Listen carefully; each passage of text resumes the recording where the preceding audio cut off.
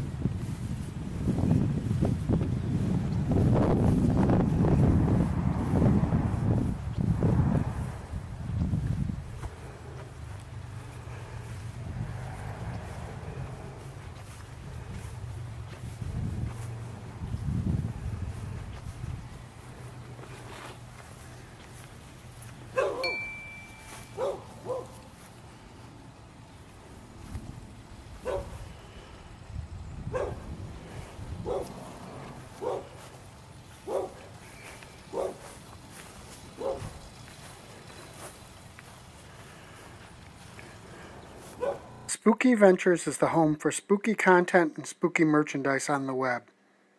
Check it out today at spookyventures.com. And remember, always keep it spooky.